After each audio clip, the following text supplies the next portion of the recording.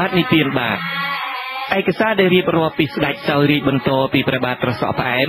ក៏មានភាពច្របូកច្របល់ណាស់ដែរហើយយើងឃើញថាមានខុសគ្នាដល់ទៅចំនួន5រាជស្ដេចផែនដី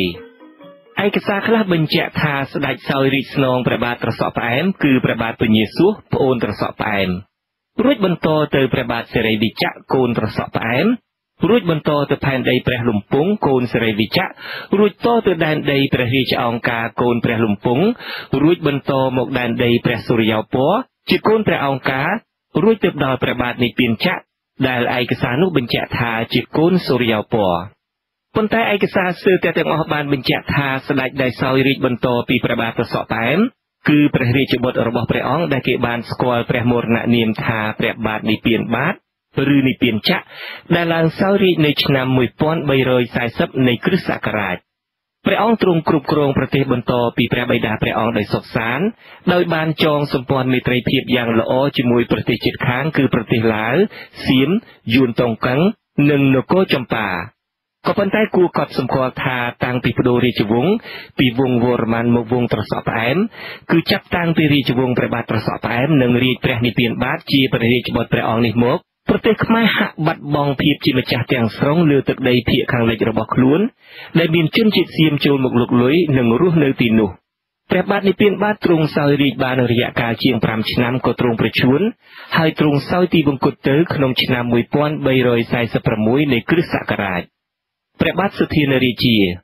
ក្រោយពីព្រះបាទនិព្វានបាទឬនិព្វានចក្រទ្រង់សោយទីវង្គតទៅ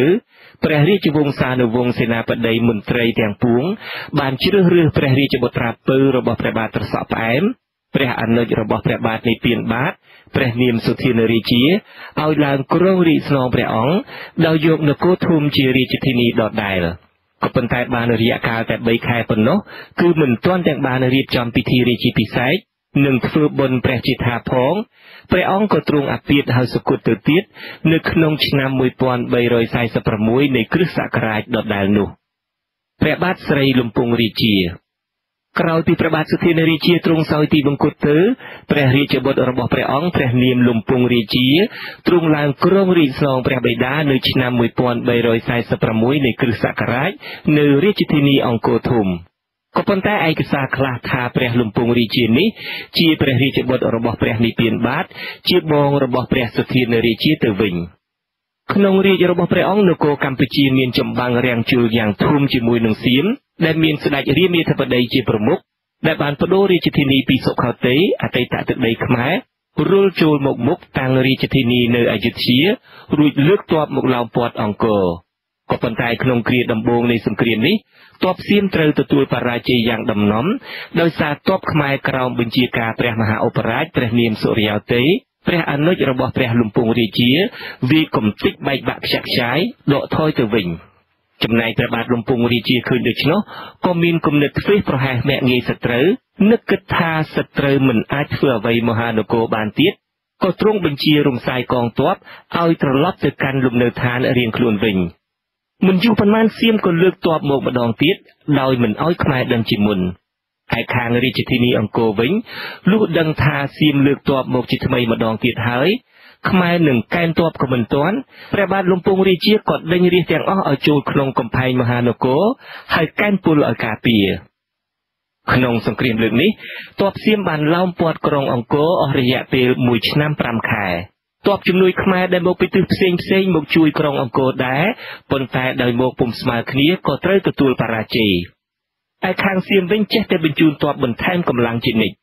ទីបំផុតព្រះបាទលំពង់រាជាដោយព្រួយព្រះទ័យខ្លាំងក៏ប្រជួនហើយសោយទីវង្គតទៅព្រះមហាឧបរាជសូរិយោទ័យជាប្អូនក៏ដឹកនាំទ័ពប្រយុទ្ធបន្តទៅទៀតប៉ុន្តែនៅទីអវសានទ័ពសៀមវាយទម្លាយទ្វារទិសខាងកើតបាន ហើយព្រះមហាឧបរាជក៏សគត់ក្នុងសង្គ្រាមនោះទៅទៀត ហើយរាជធានីអង្គរក៏ធ្លាក់ក្នុងកណ្ដាប់ដៃសៀមនៅឆ្នាំ1352ឯកសារខ្លះថាឆ្នាំ1353នោះទៅក្រោយពីទទួលបានជ័យជំនះហើយស្ដេចសៀមរាមាធិបតីបានរៀបអភិសេកបុត្រាព្រះរាមចៅបាសាទ ឲ្យឡើងសោយរាជនៅក្រុងអង្គរហើយតែងតាំងចៅហ្វាយខេត្តជាតិសៀមឲ្យត្រួតត្រាខេត្តខ្មែរទាំងឡាយនៅភាគខាងលិចដូចជាបច្ចឹមបុរីនគររាជសីមាលលីដែលគេទន្ទ្រានយកបានក្នុងពេលវាយលុកក្រុងអង្គរនោះហើយខេត្តមួយចំនួនត្រូវសៀមយកផ្ដាច់តាំងពីពេលនោះមកហើយស្ដេចសៀមអង្គនេះបានត្រឡប់ទៅក្រុងអយុធ្យាវិញដោយគៀរាជខ្មែរប្រមាណ1សែនគ្រួជាឆ្លើយនាំយកទៅក្នុងនោះចាត់ខ្មែរ10000នាក់ឲ្យដឹកជញ្ជូនទ្រព្យសម្បត្តិមានតម្លៃដូចជាមាស ពេជ្រកែវកងកន្ទេលមាសកន្ទេលប្រាក់គម្ពីរដីកាឯកសារសំខាន់សំខាន់សពសារពើ នាំយកទៅស្រុកសៀមថែមទៀតផង